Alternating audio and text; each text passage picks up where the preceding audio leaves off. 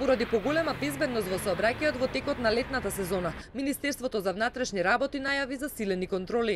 Против црните статистики во милтините на МВР полицијата со засилени акции. Граѓаните ги поддржуваат, но единствено им забележуваат на високите казни. Само вчера се случиле 7 сообраќајни незгоди. Во вчерашната акција на МВР санкционирани се 56 возачи кои возеле побрзо од дозволеното.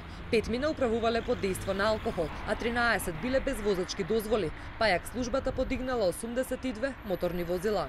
Па, во ред се за зелените контроли повеќе треба да се обрати внимание на тие возачи што не се дисциплинирани, што возат пребрзо низ град, низ населено место може би се превисоки според стандардот на граѓаните.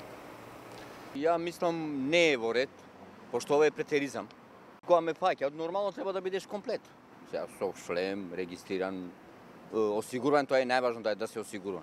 Сметате дека е во ред, дека е добро да има толку засилени контроли? Би требало уште повеќе. Помали казни, а повеќе да ги казнуват.